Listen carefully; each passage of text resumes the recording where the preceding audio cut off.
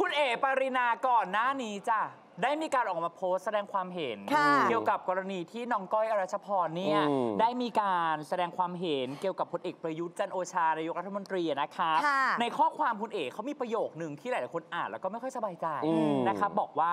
ก้อยเนี่ยเป็นดาราหน้าแบ๊วหรือออทิสติกกันแน่ อืม ถึงได้รับแต่บทตลก อืม พอออกมาแบบนี้ปั๊บเนี่ยคนก็เลยแบบเฮ้ย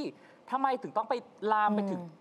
กลุ่มคนที่เป็นเด็กออทิสติกด้วย อืมประโยคดังกล่าวครับ ก็สร้างความไม่พอใจให้หลายคน ครับ รวมถึงด้านสมาคมผู้ปกครองเด็กออทิซึมออกมายื่นหนังสือถึงประธานสภาอย่างในคุณชวนหลีกภัย ให้ตักเตือนคุณเอ๋ปรินาหน่อย อืม คุณชวนก็ทราบเรื่องอย่างไม่เป็นทางการละ แล้วก็มีการตั้งคณะกรรมการจริยธรรมเนี่ยในการตรวจสอบ ค่ะ เพราะคุณชวนก็บอกเลยบอกว่ามีคนเนี่ยแจ้งเรื่องราวแบบเนี้ยเข้ามาอืม รวมๆแล้วประมาณ 18 เรื่องอืม ก่อนที่ทางคุณเอ๋เนี่ยจะเดินทางเข้าไปแจ้งความกับสพโพธาราม ไปแจ้งความเนี่ยดำเนินคดีกับใครรู้ไหมใครทางทนายอนันต์ชัย อืม ทนายอนันต์ชัยเนี่ยออกมาแสดงความเห็นเรื่องนี้ค่ะ นะครับ โดยบอกว่าเด็กออทิสติก มีประโยชน์กว่าคนบางคนด้วยซ้ค่ะำทนายพูดแบบนี้ อืม คุณเอ๋ไม่พอใจ อืม คุณอืมเอ๋บอกว่า เอาตนไปเทียบกับเด็กออทิสติก อืม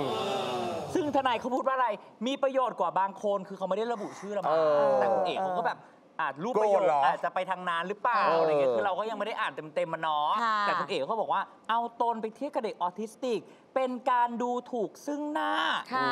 หมิ่นประมาทนะอย่างนี้นะเขาบอกเป็นการดูถูกหมีประมาท อ่าเขาบอกเป็นการดูถูกซึ่งหน้า อ่า แล้วคุณเอ๋ยังบอกอีกบอกว่าเดี๋ยวจะฟ้องก้อยอรัชพรแล้วก็สมาคมผู้ปกครองเด็กออทิซึมด้วย ว่าหาเขาว่าไปยังไงอะ จะไปฟ้องก้อยเรื่องอะไรอยากรู้ จะฟ้องก้อยในข้อหาอะไรอะ คือถ้าเกิดเราเราดูตามไทำลายอะเอเนาะอเธอว่าเธอว่าเออเขาจะไปฟ้องข้อหาอะไร ทางสมาคมผู้ปกครองเด็กออทิซึมเขาออกมาเป็นอืม แถลงการใช่อๆเออกอมาว่าแบบ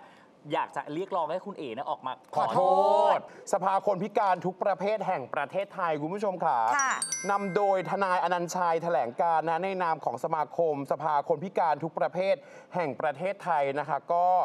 ออกมาร้องเรียนนะคะเรื่องต่อนางสาว ปารีณาไกรคุปต์อันนี้ต้องอ่านให้ถูกต้องนะคะเออสมาชิกผู้แทนราษฎร บอกว่าตามที่ปรากฏเป็นข่าวเรื่องของคุณปารีณาสมาชิก สภาผู้แทนราษฎรเนี่ยได้มีการต่อว่าดาราท่านหนึ่งโดยใช้คำว่าออทิสติกอืมเปรียบเปรยในทำนองว่าดาราคนนั้นน่ะแบ๊วหรือว่าออทิสติกนะครับเป็นการกระทำดังกล่าวถือเป็นการเหยียดหยาม เป็นการทำให้รู้สึกด้อยค่านะคะเป็นการหมิ่นศักดิ์ศรีความเป็นมนุษย์ ถือเป็นการเลือกปฏิบัติโดยไม่เป็นธรรมต่อคนพิการอืมขัดกับหลักการตามหลักรัฐธรรมนูญและ อนุสัญญาว่าด้วยสิทธิคนพิการ ดังนั้นอย่างที่บอกพอเกิดเรื่องแทนที่จะรับฟังเสียงของประชาชนนะคะ และทำความเข้าใจท่านกลับประกาศกล้าวผ่านสื่อดำเนินคดีทางอาญา และแพ่งให้ถึงที่สุดรวมถึงได้แจ้งความดำเนินคดี ข้อหาหมิ่นประมาทแก่ประชาชนเหล่านั้น ซึ่งเป็นการกระทำที่ไม่สมควรอย่างยิ่ง ทางสมาคมคนพิการทุกประเภทแห่งประเทศไทย และองค์การสมาชิกขอเรียกร้องให้คุณปรินา กล่าวคำขอโทษต่อบุคคลออทิสติก และครอบครัวนะฮะและยุติการคุกคามทางกฎหมาย ทั้งทางแพ่ง และทางอาญาต่อผู้ที่มีส่วนร่วมที่มีข้อเกี่ยวข้อง รวมถึงการแถลงการข่าวเมื่อวานนี้ก็มีกลุ่มคนพิการมาเข้าร่วมเป็นจำนวนมาก ซึ่งอย่างที่ค่ะบอกว่าไม่เห็นด้วยกับสิ่งที่คุณปรินาเป็นคนทค่ะำดังนั้นวันนี้ต้องมาดูแล้วความเคลื่อนไหวของคุณปรินาเนี่ยจะเป็นอย่างไรใช่เพราะตอนนี้คนพิการเริ่มออกมาแล้ว แล้วกลุ่มครอบครัวหรือสมาคมต่างๆ ที่มี ไม่ว่าจะเป็นญาติหรือลูก พี่น้องที่เป็นกลุ่มออทิสติก รู้สึกไม่พึงพอใจเพราะอย่างที่บอกว่าการที่การป่วยเนี่ยมันไม่ได้มีใครอยากจะให้ป่วยแบบนี้ ใช่ บางคนเนี่ยเขาประคบประหงมลูกทำให้ลูกแบบมีสิ่งที่เรียนรู้กลับมาเป็นคนปกติได้แล้ว เพจะราะมันเจอบอกว่าคำนี้มันเป็นคำจี๊ดใจมันเป็นการบูลลี่อะ แฉแฉแฉแฉข่าวเช้า